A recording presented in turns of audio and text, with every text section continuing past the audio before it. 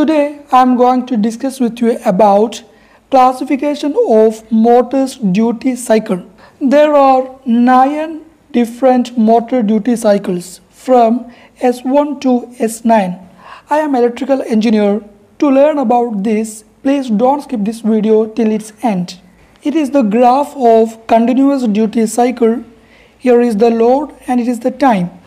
After the motor starting, the motor reaches its maximum load at this point and after that the load is constant for all time. This line indicates the operation of this motor.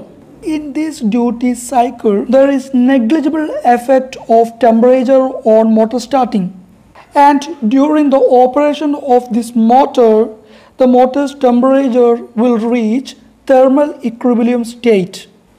That means the temperature will be on constant state. In industry, we generally run this type of motor for 1 to 6 months continuously. The motors used in escalators and packaging machinery are examples of this duty cycle. The second duty cycle is short time duty S2. Here you can see after the motor starts when it reaches its maximum load then it will be on for a short time. It is the operation time and after that the motor will be switched off and it will be on rest for a long time. It works for a short time. This motor cannot reach thermal equilibrium state.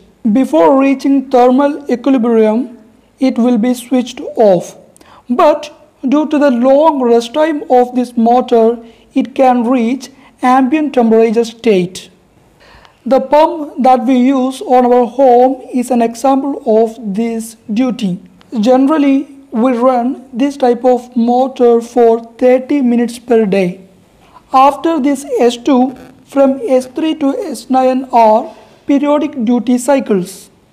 Out of this, S3 to S6 are almost similar duty and from S7 to S9 are also on similar duty.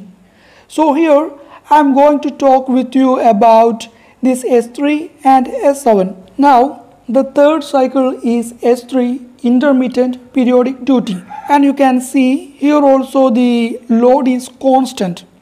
See after the motor starts the motor reaches its maximum load and then it will be on for a short time. It is the operation time and after that the motor will be switched off and then rest for a certain period. And after that it will be again switched on and then it will be on for the same time as before. And again it will be switched off. Just like this this cycle continues. Due to its continuous operation on a same day this motor will be on on several times because of that this motor cannot reach the thermal equilibrium state and also the ambient temperature state. That means this motor cannot be cooled down. Motors used in plastic machinery and food and beverage processing are examples of this duty cycle. And the next cycle is S7, continuous operation with electric braking. This portion of the graph indicates the operation of the motor and this portion indicates the electric braking. Here you can see there is no rest time for the motors. It is a very difficult task for the motor and the motor cannot reach thermal equilibrium and ambient temperature state. Motors used in any crushing mills and material handling process are example of this duty. Before you purchase your motor, you need to know that which duty cycle you need. For that, before your purchase, you need to consult a specialist of the motor. And during the purchase time, you need to check this motor duty class on the nameplate of the motor. I hope you have understood about this topic. If so, please like this video. If you want to get more videos with lot of information like this, please consider to subscribe this YouTube channel. Thanks for watching.